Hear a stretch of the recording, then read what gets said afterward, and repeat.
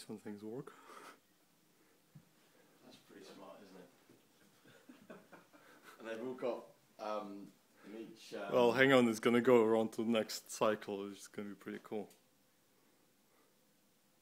So um, Ilya there's a little program board at the front there. Ilya can program to do anything he wants to.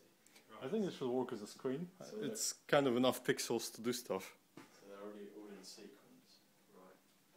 Their sonars underneath, like these little sonars we've got, which will be placed in the perspex. below,